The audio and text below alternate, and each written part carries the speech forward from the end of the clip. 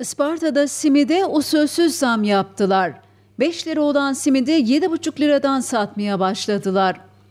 Ispartalılar bugün sabah saatlerinde bazı fırın ve tezgahlarda 5 lira olan simit fiyatının 7,5 liradan satıldığını öğrendi.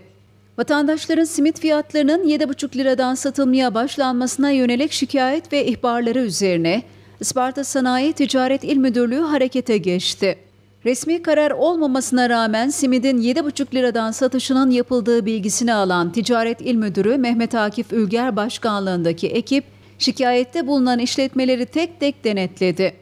Ekipler simitçileri ve fırınları tek tek dolaşarak usulsüz zam konusunda uyarılarda bulundu. Simidin 7,5 liradan satılamayacağını bildirdi.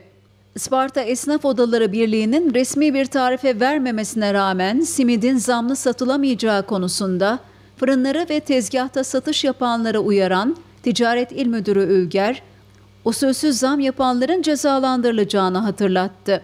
Bunun üzerine simit tekrar 5 liradan satılmaya başlandı. Isparta Ticaret İl Müdürü Ülger, simidin kentteki fiyatının 5 lira olduğunu belirterek, simitçilere yönelik fiyat denetimlerinin aralıksız devam edeceğini kaydetti.